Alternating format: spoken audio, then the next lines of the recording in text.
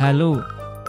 Jenengku Andi, aku iku polisi buser sing tugas ing salah sawijining kutha gedhe ing Indonesia. Umurku telung puluh telu tahun lan wis ngabdi ing kepolisian luwih saka 10 tahun.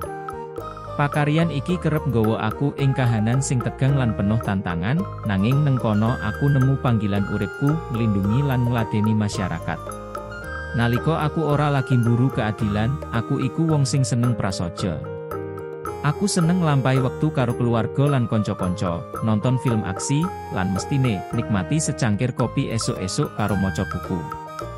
Aku uga seneng olahraga, utamane lari lan pit-pitan, mergo iso ngewangi aku tetep seger nang awak, lan siap ngadepi dino sing dawa.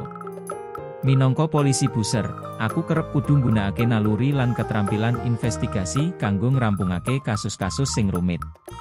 Aku seneng tantangan lan duweni rasa keadilan sing kuat, lan tansah nyoba kanggo dadi wong sing bisa diandelake.